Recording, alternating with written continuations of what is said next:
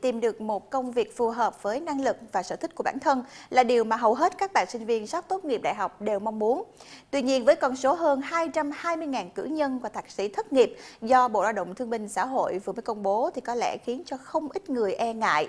Trong khi nhu cầu tuyển dụng của doanh nghiệp thì vẫn luôn có. Như vậy đâu là nguyên nhân khiến cho nhà tuyển dụng và người tìm việc, đặc biệt là các bạn sinh viên mới ra trường vẫn chưa tìm được tiếng nói chung? Mời quý vị theo dõi một phóng sự ngắn sau đây.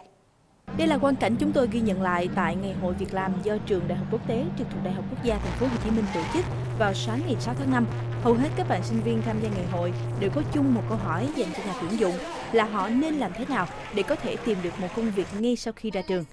Theo khảo sát của mạng việc làm JobStreet, có tới 40% sinh viên không tìm được việc làm từ 3 đến 6 tháng sau khi tốt nghiệp. Trong khi đó, có đến 80% nhà tuyển dụng tham gia khảo sát này lại cho biết họ có nhu cầu tuyển sinh viên mới ra trường. Theo như kinh nghiệm tuyển dụng của mình, đó, thông thường mà có hai lỗi chính mà các bạn thường mắc phải. Thứ nhất là cái định hướng nghề nghiệp của các bạn là đôi khi các bạn chưa có một định hướng trước là mình sẽ làm gì sau khi ra trường và cái lỗi thứ hai mà thường có mắc phải là là do mình chưa biết cái định hướng trước khi mình ra trường như thế nào á thì thành ra là mình bị thiếu cái sự chuẩn bị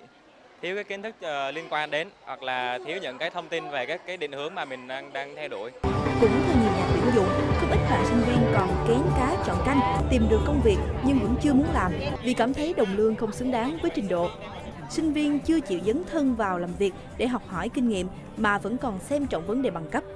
Ngoài ra, đa phần sinh viên vẫn còn thiếu kỹ năng mềm như kỹ năng nói trước đám đông, kỹ năng giao tiếp vân vân. Ờ, bên cạnh những cái kiến thức mà học học được ở trường đại học á, có thể kiến thức này là kiến thức cơ bản, không có những kiến thức mà nó sát với thực tế. Mình cũng có thể chấp nhận vì họ chưa có kinh nghiệm công tác. Nhưng mà cái đòi hỏi quan trọng nhất là đối với các em này đó là em phải có định hướng rõ nghề nghiệp rất rõ ràng, rồi phải biểu lộ được cái đam mê trong nghề nghiệp của mình đó thì mình phải bộc lộ cho người ta thấy là một mình là tại sao người ta phải tuyển mình? Mình phải có cái tư duy như thế nào người ta mới tuyển mình? Các bạn mới, mới bước chân ra à, bước vươn chân vào đi làm thì tiền lương các bạn không nên đặt là một vấn đề đầu tiên. Vì các bạn phải biết rằng á, là khi mà các bạn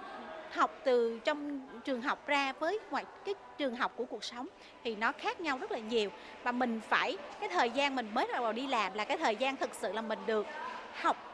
mà được trả phí nên cái khoản phí đó các bạn nên chấp nhận một ừ, với một cái tinh thần thoải mái nhất để để làm gì để các bạn có thể là tận dụng tối đa cái thời gian mà doanh nghiệp đã trao cho các bạn.